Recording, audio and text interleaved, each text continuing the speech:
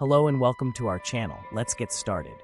Tonic water is known for its distinctive taste, characterized by a balance of bitterness, sweetness, and a subtle hint of citrus. The primary flavor of tonic water comes from quinine, a compound extracted from the bark of the cinchona tree. Quinine gives tonic water its characteristic bitter taste, which is often described as slightly medicinal or herbal.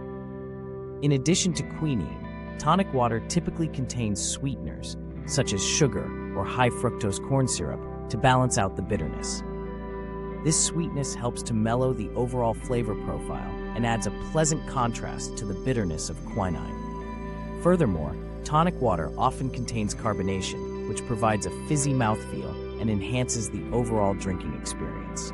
The carbonation also helps to carry the flavors across the palate, making the taste of tonic water refreshing and invigorating.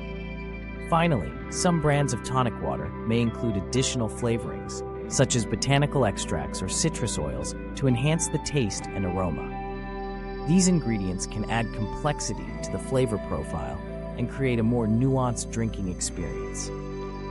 Thank you for watching. Don't forget to like and subscribe for more helpful tips and information. See you in the next video.